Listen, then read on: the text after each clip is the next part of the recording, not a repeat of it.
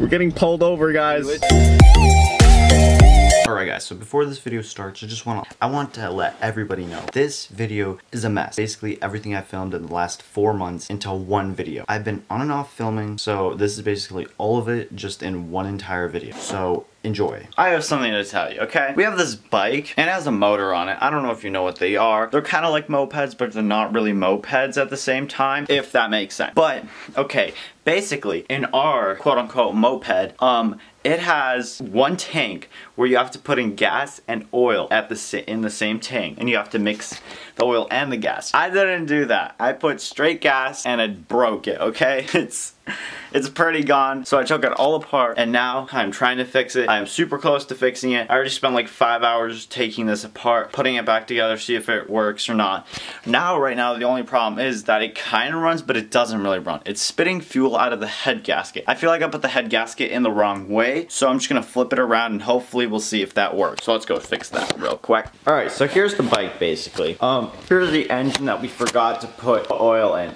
So basically it doesn't, it didn't, it was running without oil for like three miles about. And as you can see, it's leaking oil. And my guess it's leaking right over here. It's leaking out of the head gasket. I don't know if you can see the head gasket. It's right that thin layer. You can't really see it, but um, I feel like it's leaking out of the head gasket. I'm gonna take this top thing off with these screws and hopefully that will about fix it and it should start running normally, hopefully. I like put a ton of oil in there and it was super dry and the engine was just seized. It was just really bad. Keep in mind guys, I am no Bob the Builder, so I can't really fix it. Well like I'm not, I'm no professional in this situation. So please don't learn from this video. I'm just kind of doing whatever to try to fix it. I've never took apart an engine. This is my first one. So yeah, don't learn from me at all, please. But yeah. All right, let's start doing this.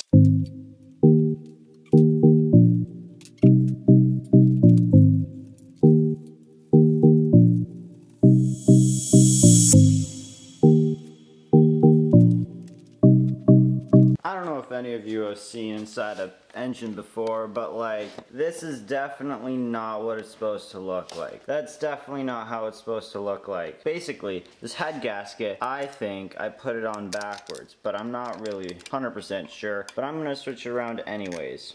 So, boom. Hopefully, that was it. So let's start putting this back together.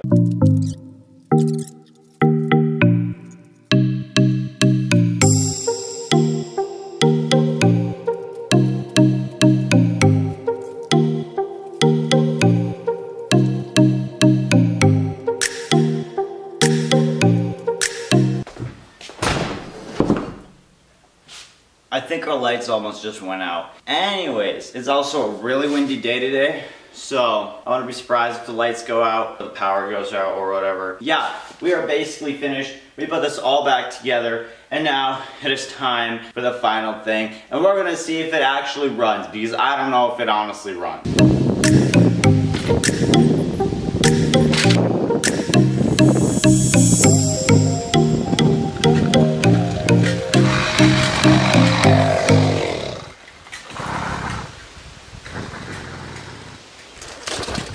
Well, it didn't start, but we'll go for round two.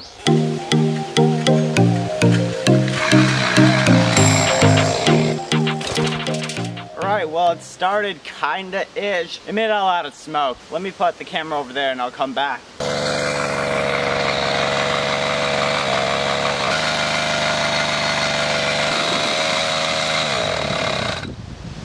smells so bad. I don't know how it's running to be honest. The bike thing didn't really work necessarily, but you know, it was worth a shot and it didn't work. So I have to buy like a new cylinder head and whatever. But anyways, I didn't do that. So it's kind of trashed. But anyways, basically, the next part is us getting pulled over by police. I, I really don't know why, but you guys can watch it for yourself.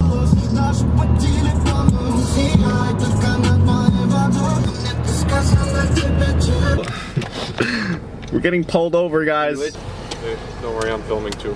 Alright. Got your driver's license, sir? Yes. Be safe, please, okay? Right. Take care. You too.